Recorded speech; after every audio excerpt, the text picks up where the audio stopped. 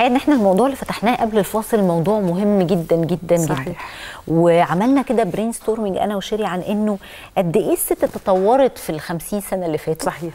والراجل مش ما تطورش عشان هو مش عايز يتطور ولا مش قادر يتطور هي الظروف من ساعة الحروب العالمية اللي مرت بيها ال ال الإنسانية اضطرت في فترة من الفترات وخصوصا الحرب العالمية الثانية اضطرت إن الست تنزل تشتغل. عشان الرجالة كلهم كانوا بيحاربوا. فالست كان لازم تنزل تاخد مكان الراجل ولا الدنيا هتقف وخصوصا في المصانع الحربية. يعني هو ده بقى ال- ال- المفاجأة الكبرى. من هنا بدأ التطور السريع للست.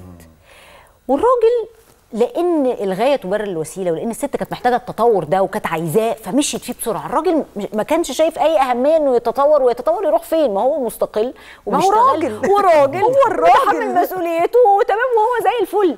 التطور ده عمل عدم اتزان في علاقة الراجل بالست. وبقى في مشاكل كتير بيعاني منها الراجل حقيقي. ويمكن الست هي السبب فيها. وضغوط كتير في الحياة الراجل بيمر بيها على المستوى النفسي كمان والعصبي بسبب التطور السريع اللي حصل للست وعدم قدرته على مواكبة التطور ده وعدم استيعابها لأن موقفه هو كمان صعب.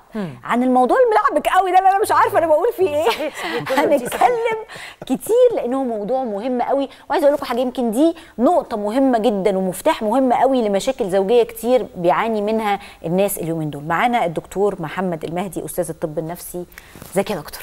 أهلا بيك يا دكتور. السابقه هي الأولى من نوعها. آه هنتكلم عن نتكلم عن الراجل نفسية الراجل والله ربنا يكبر ما. بيحصلش كتير. فاكتبوا. ورانا عشان مش هتتكرر. وما تتعودوش على كده كمان.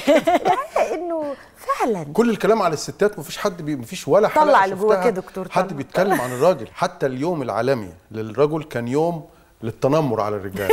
آه والله كانت نازلة إفيهات آه، ده خد باله. خدوها بتريقة الحقيقة إن الكوميكس كتيرة على بصراحة. الرجالة. قال لك محدش قال له كل سنة وأنت طيب. أنا أنا أساسا يعني اتفاجئت في الحلقة دي اللي كان في يوم عالمي للرجاله وناس كتير ما حسيتش ما كنتش. أعرفه. واللي حس اتريق واتش